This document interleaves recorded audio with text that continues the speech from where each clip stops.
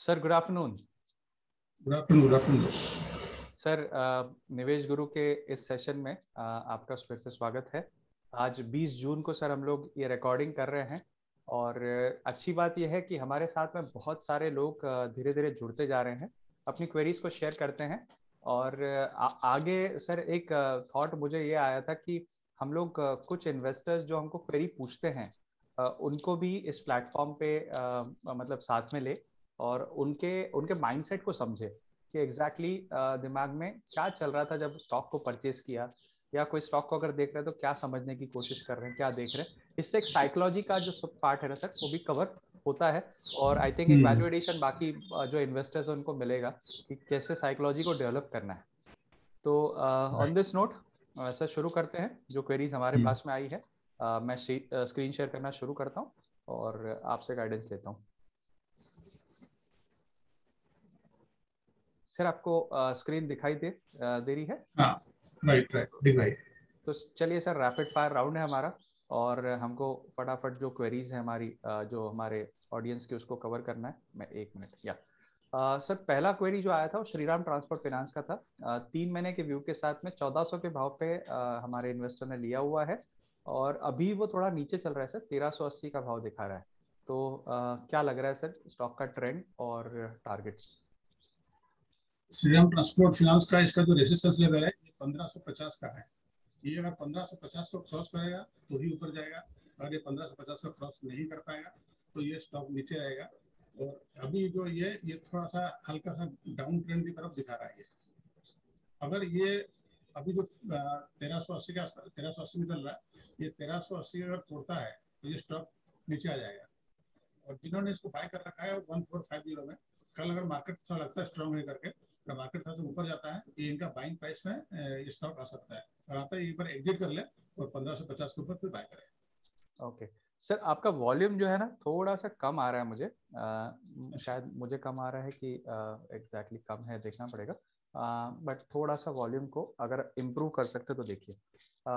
चलिए Shriram Transport finance 1550 के ऊपर बाइंग बनती है। अभी आ, सर ने जो बताया उसका मुझे इंटरप्रिटेशन मेरे समझ में यह आया कि स्टॉक जो है रेंज बाउंड है। और इसीलिए सर ने ब्रेकआउट के लिए वेट करने के लिए कहा है। रेंज बाउंड स्टॉक और खास करके थोड़ा वीकनेस भी दिखा रहा है। तो अगर आप उसमें बने रहेंगे तो हो सकता है कि आपको नीचे का लेवल देखना पड़ जाए और उसके बाद में जब वो ऊपर जाए तो नीचे के लेवल पे आपको दिक्कत होगी। आपको खुद को ऐसा लगेगा कि मैं एंटर हो गया लेकिन दिक्कत महसूस होते रहेगी स्टॉक बना रहेगा तो नीचे। तो बेटर है कि आप उसमें से एक बार एग्जिट कर ले, थोड़ा सा व्यू जो है क्लियर हो जाए उसका उसके बाद में उसमें एंटर करें। सर नेक्स्ट स्टॉक है एसबीआई कार्ड इसका बाइंग प्राइस मेरे पास में if I am not sure एक मिनट जस्ट या आठ सौ रुपये पे सर हाँ आठ सौ पे बाइंग किया हुआ है एक अच्छे लेवल पे बाइंग किया हुआ है। स्टॉक ने एक अच्छा ऊपर का ट्रेंड पकड़ा हुआ था लेकिन बाद में फिर एक प्रॉफिट बुकिंग आई और शायद इन्होंने प्रॉफिट बुकिंग के टाइम पे नहीं इन्होंने पहले खरीद का खरीद के रखा हुआ है। तो 800 में पहले खरीदा था प्रॉफिट बुकिंग आई उसके पहले उन्होंने शायद बेचा नहीं है फिर से ऊपर गया फिर से उसी लेवल पे डबल टॉप बनाया सर। और अब डबल टॉप बना के वहीं से गिर रहा है। तो अभी सर एक हज़ार पाँच, करीब करीब हज़ार रुपए का भाव दिखा रहा है। क्या करना चाहिए इन्वेस्टर में नहीं स्टॉप स्टॉप तो दो बार मौका दिया प्रॉफिट बुक करने के लिए। और इन्होंने प्रॉफिट बुक नहीं किया। इसका जो हाई था, ये वन वन फोर ज़ीरो का हाई इसने बनाया। दो बार इसने अपॉर्चुनिटी दी। अरे अभी जो स्टॉक है वीकनेस की तरफ़ जा रहा है। अगर, ये स्टॉक जब तक एक हज़ार बीस वन ज़ीरो टू ज़ीरो के नीचे रहेगा तो ये स्टॉक वीक ही रहेगा और हो सकता है कि ये थोड़ा सा और वीक के तरफ़ चले। और ये वन ज़ीरो टू ज़ीरो के ऊपर रहेगा तो ये स्टॉक स्ट्रॉन्ग रहेगा। ये जो फिगर है इस फिगर पे वो ध्यान रखें। बट मेरे हिसाब से इनको प्रॉफिट बुक कराना चाहिए। इनका बाइंग जो प्राइस आठ सौ रुपए है मैंने ऑलरेडी अपॉर्चुनिटी मिस कर दी है फोर हंड्रेड रुपीज़ का। अभी भी प्रॉफिट बुक कर सकता है। अगर ये वन ज़ीरो टू ज़ीरो के ऊपर रहेगा तो दोबारा इसको ये बाय करके लेकिन छोटा सा स्टॉप स्टॉपस लेके रुक सकते हैं इसके बाद अभी अभी टाइम है प्रॉफिट बुक करने की जो मैंने मिस कर दी right right I hope investor को जवाब मिला होगा। हम लोग नेक्स्ट स्टॉप पे जाते हैं सर मुथूट फाइनेंस चौदह सौ बहत्तर का भाव दिखा रहा है। मुथूट का 1465 मतलब करीब करीब अभी इसी लेवल के आसपास में इन्वेस्टर ने बाइंग किया हुआ है। इसने एक ब्रेकआउट दिया था, ऐसा दिख के आ रहा है। तेरह सौ के ऊपर, तेरह सौ बीस, तीस के ऊपर ब्रेकआउट दिया था। आई थिंक तेरह सौ पचास का लेवल मान के चल सकते हैं ब्रेकआउट का। अभी चौदह सौ सत्तर चल रहा है सर क्या लग रहा है अभी? अभी इनका जो प्राइस है ऑलमोस्ट बाइंग प्राइस पे ही है। ये स्टॉक जहाँ पे मैक्सिमम टू मैक्सिमम जाएगा तो ये चौदह सौ अस्सी, पिचासी तक जाएगा। अगर उसको अगर ये ब्रेक करता है, उस फिगर को तो फिर इसमें एक बड़ा मूवमेंट आएगा। जो मूवमेंट है वो कम से कम तीन चार सौ रुपए तक कंटिन्यू करेगा। अदरवाइज़ ये चौदह सौ एट्टी फाइव और नाइन्टी को क्रॉस करना इसके एक मतलब काफ़ी स्ट्रॉन्ग रेसिस्टेंस है। इस फिगर तक वेट करें। अगर इस फिगर पर वेट करता है तो कंटिन्यू करें। अगर इनको अगर स्टॉप लॉस लगा के रुकना है तो इनको स्टॉप लॉस लेके चलना चाहिए अभी।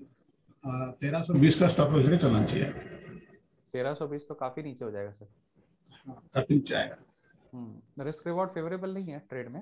आ, लेकिन अगर होल्ड करना है तो 1480 के ऊपर में एक अच्छा बड़ा मूवमेंट आएगा उसके लिए होल्ड कर सकते हैं।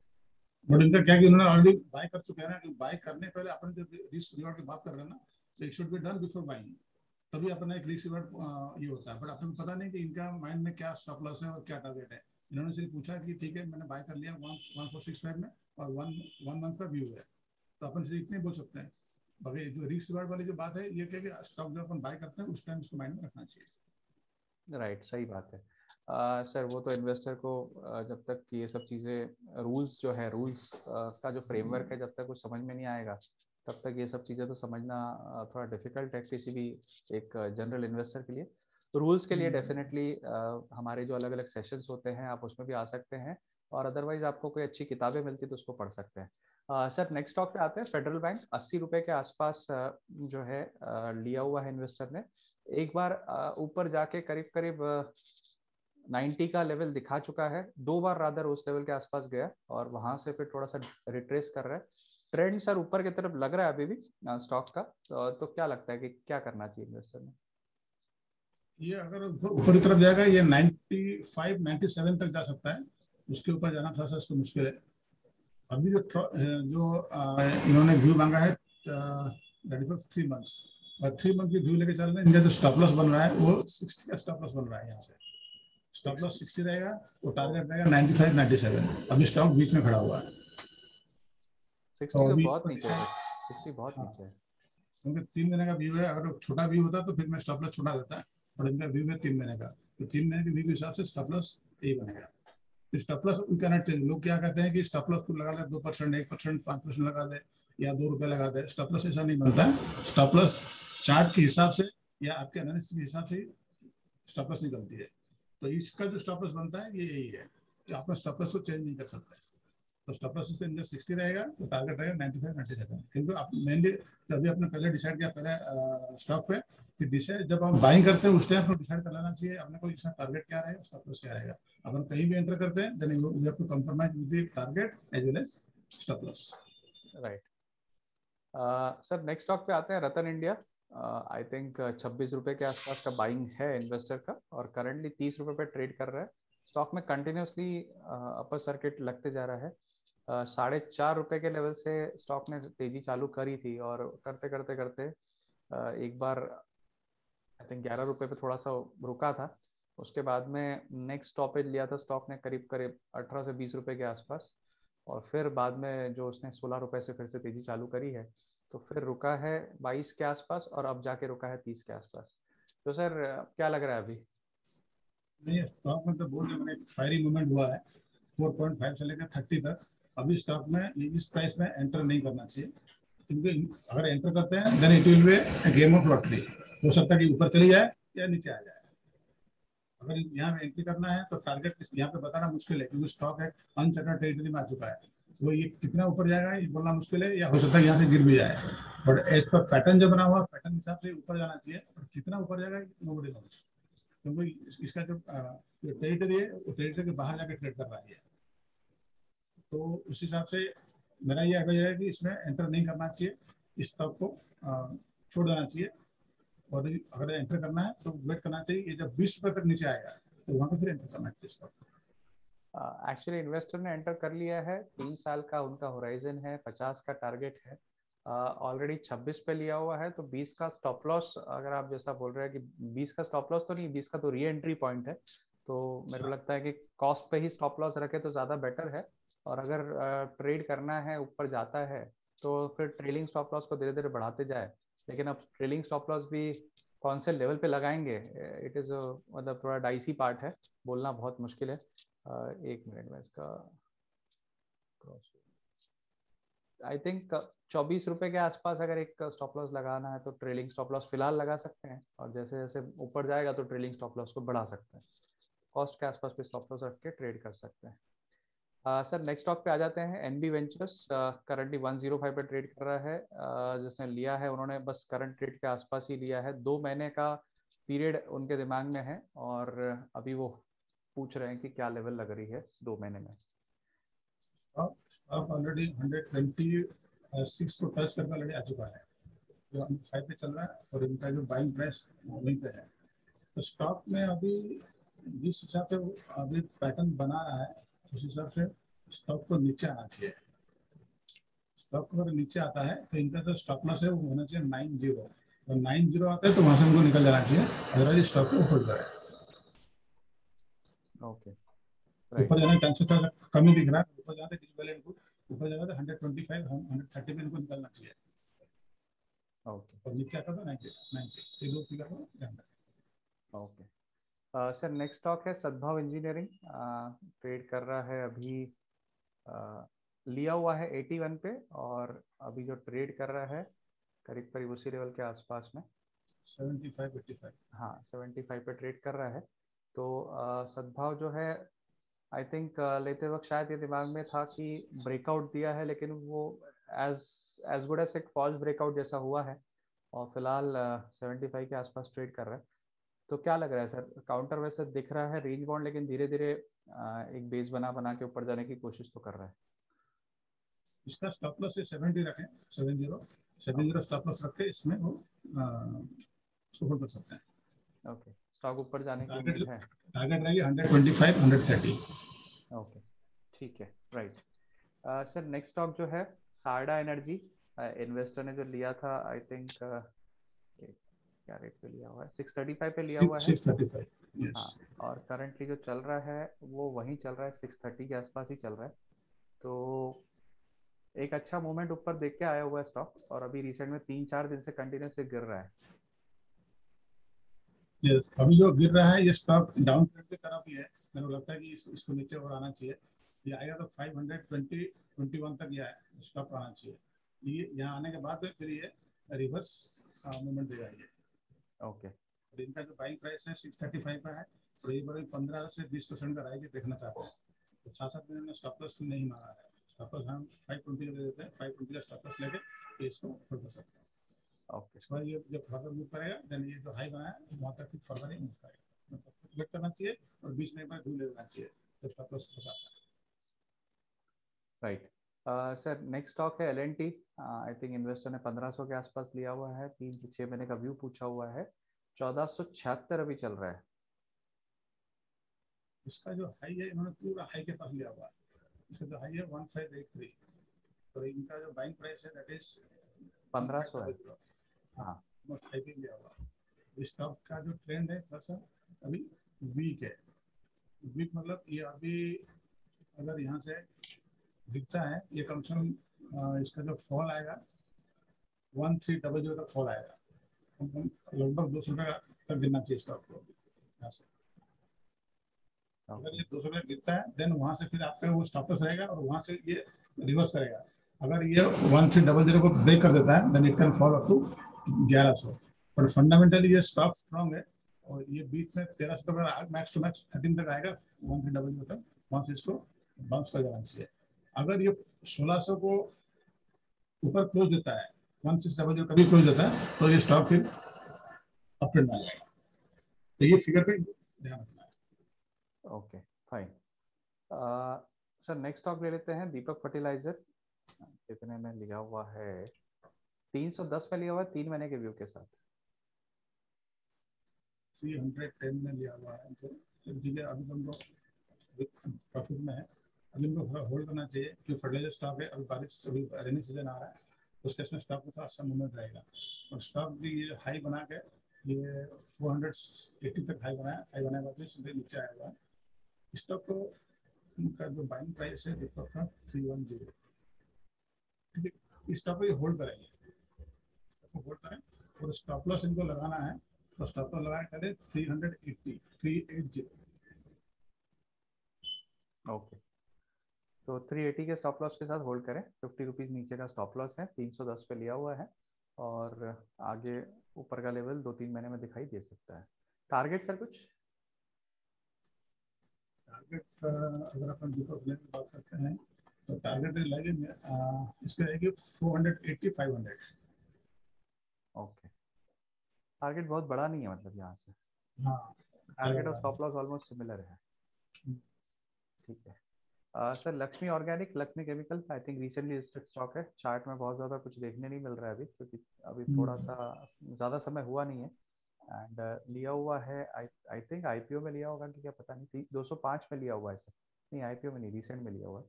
दो सौ पाँच में लिया हुआ है अभी दो सौ पच्चीस चल रहा है। स्टॉक में कुछ मतलब चार्ट्स बिल्कुल नहीं है। चार्ट भी नहीं है डेटा भी नहीं है। उसको उसका एनालिसिस करने के लिए जो अपने को इनपुट चाहिए वो इनपुट अपने पास है नहीं। तो उसमें इसमें थोड़ा व्यू देना मुश्किल रहेगा।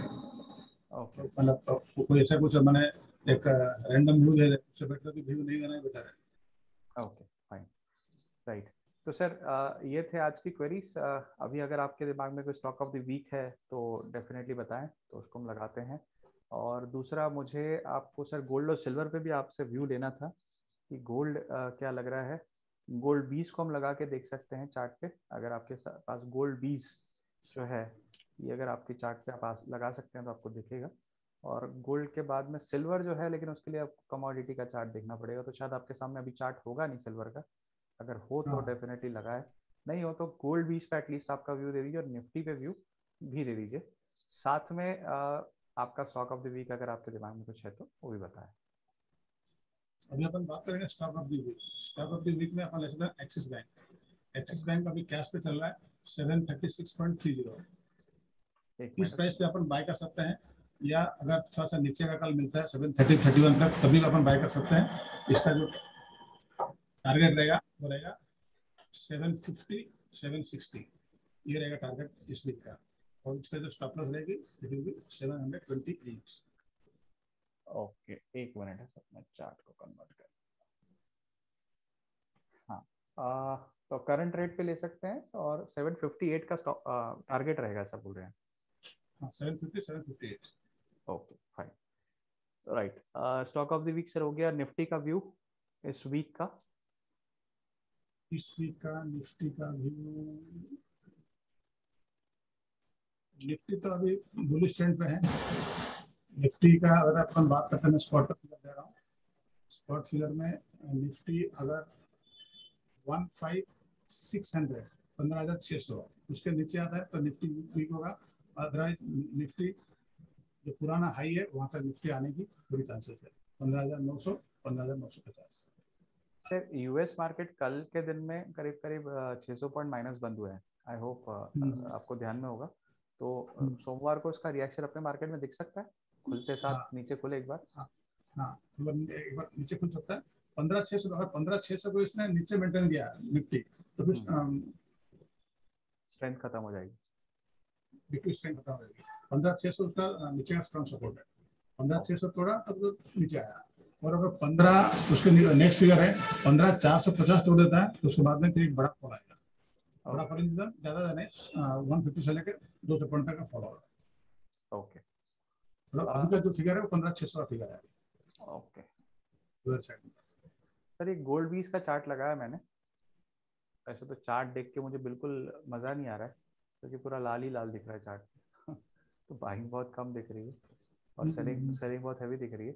आ, क्या लगता है सर गोल्ड गोल्ड को देखते हुए कैसा ट्रेंड है और मतलब एक ट्रेंड के हिसाब से और सपोर्ट रेजिस्टेंस कहीं अगर सपोर्ट भी एटलीस्ट मालूम पड़ जाए।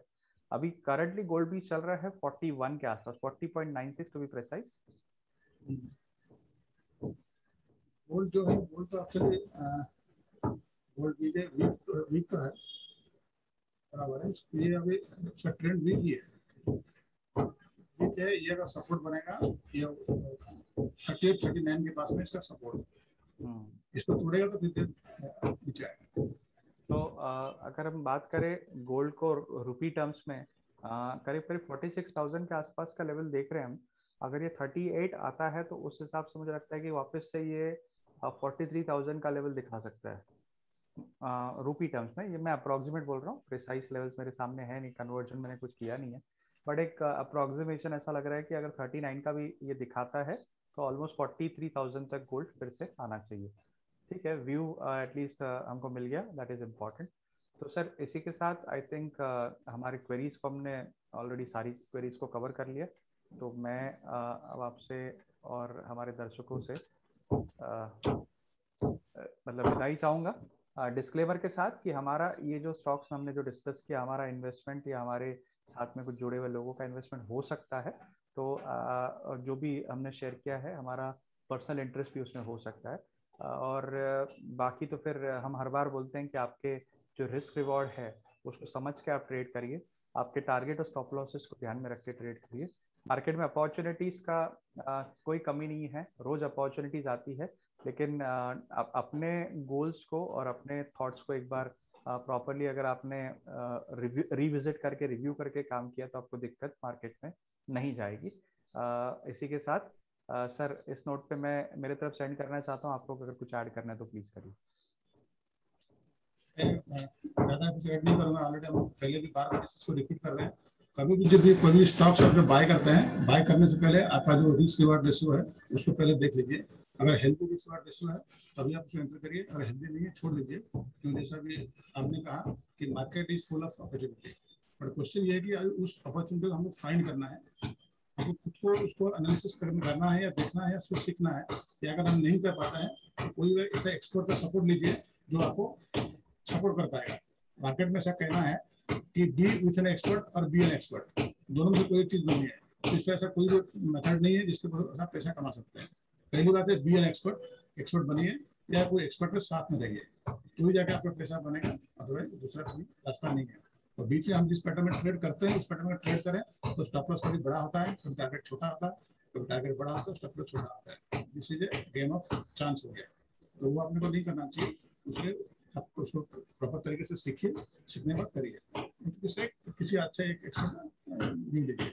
बस इतना बोलना चाहूँगा right sir thank you so much काफ़ी समय लिया आपका uh, आगे मिलते हैं बात करते हैं sir thank you so much thank you